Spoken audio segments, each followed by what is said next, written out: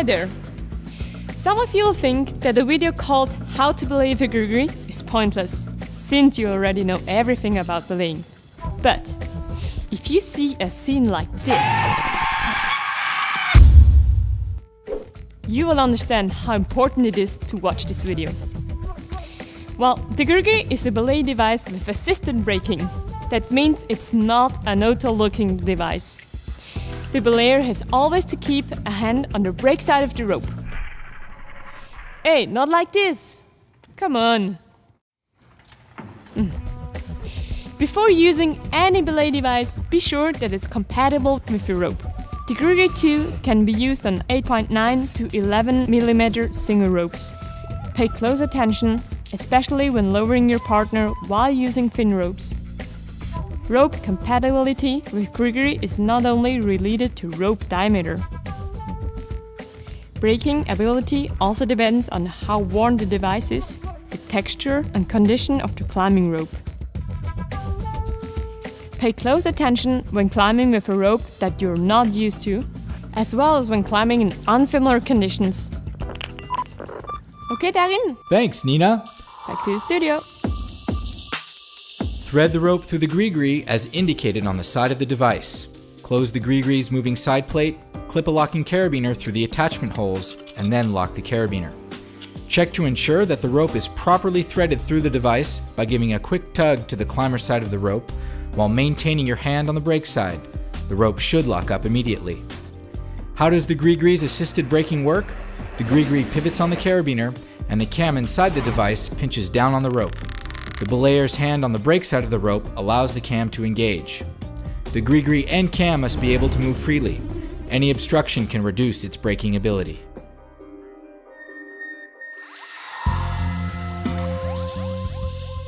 Before going climbing, establish the belay commands that you and your partner plan to use. Double check your partner's harness and tie-in knot, that the rope is threaded properly through the device, that the locking carabiner is clipped and locked properly, that the rope is the appropriate length for the route you plan to climb, and that an effective stopper knot is tied on the free end of the rope. Spot the leader before he or she reaches the first bolt and clips the first quick draw. The belayers should then remain extremely mindful of ground fall potential while the climber is low on the route.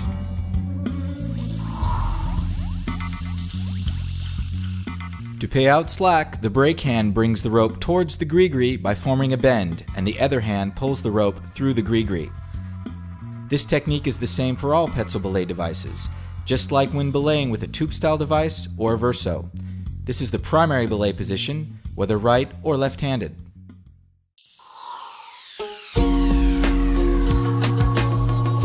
Being mobile is the best way to pay out slack quickly. Move towards the rock during the clip and then back to your original stance. The distance between the belayer and the rock depends on the situation. If the leader needs slack quickly, you can use a different hand position. Continue to hold the brake side of the rope and then place your index finger on the lip of the moving side plate while pressing your thumb down on the cam. The other hand pays out rope on the climber side of the device. Your hands should immediately return to the primary belay position. While your thumb is pressing on the cam, continue to hold the rope with at least three fingers on your brake hand.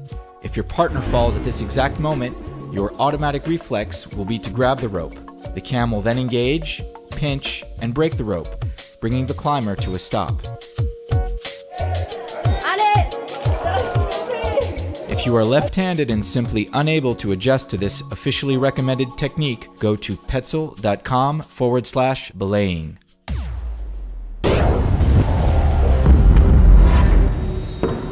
Pay out slack quickly with the Grigri, never use your entire hand to hold the device.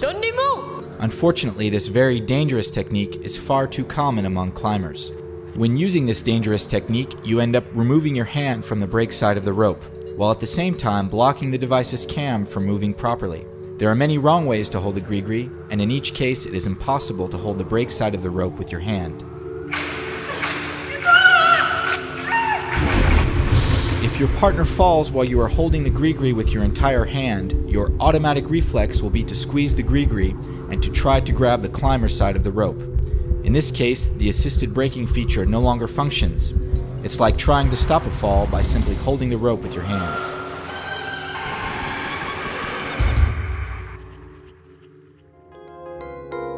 When you give slack quickly with the Grigri, please use appropriate belay technique.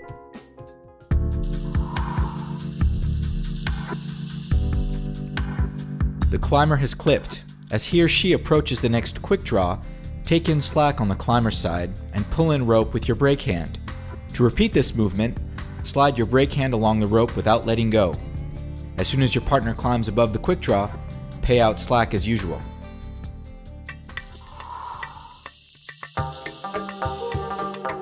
In the event of a fall, grip the brake side of the rope firmly while pulling downwards. For a dynamic belay, jump up slightly or step forward in order to soften the climber's fall. If you grip the climber's side of the rope too tightly, you run the risk of reducing or even negating the Grigri's braking ability.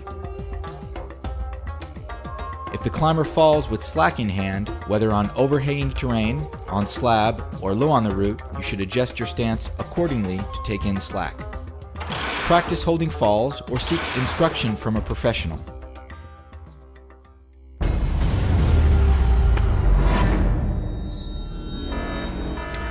Even when your partner is on tension, never let go of the brake side of the rope.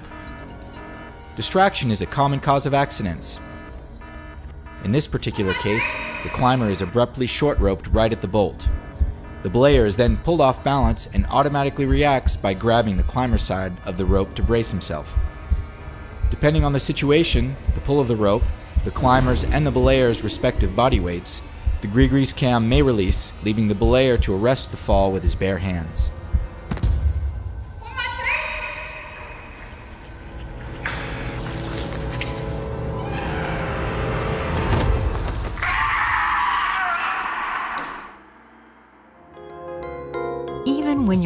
Tension, never let go of the brake side of the rope.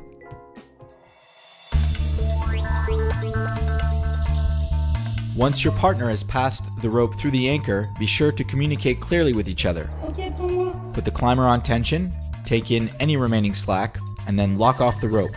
Firmly grip the brake side of the rope. The climber, now on tension, is ready to lower. Slowly pull back on the Grigri's handle while always maintaining an attentive grip on the brake side of the rope.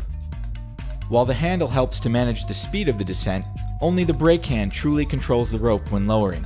For enhanced control when using a thin rope or when lowering a heavy climber, you can add friction to the system by using a Freno carabiner.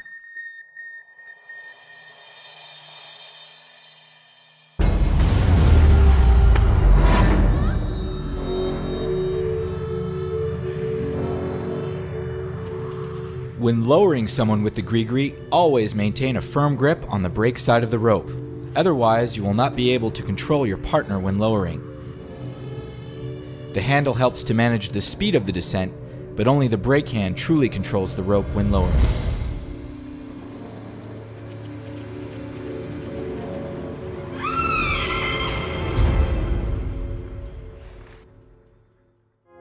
When lowering your partner, always firmly hold the brake end of the rope.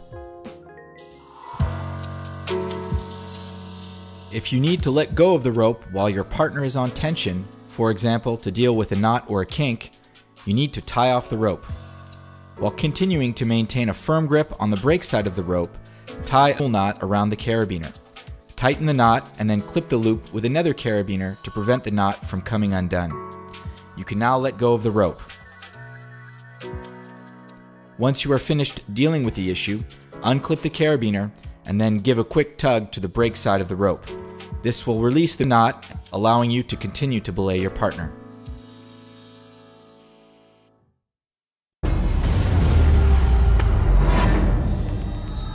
Forgetting to tie a knot at the end of the rope is a major cause of accidents in sport climbing. By the time we realize our mistake, it's pointless and way too late to try to grab the rope.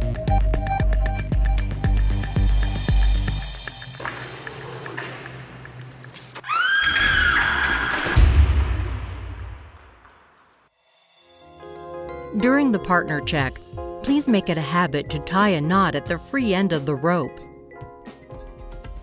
In conclusion, remember the four rules of belaying. Partner check. Always pay attention on the climber. Always keep a hand on the brake side of the rope, even with a grigri, and use the officially technique to give slack really quickly.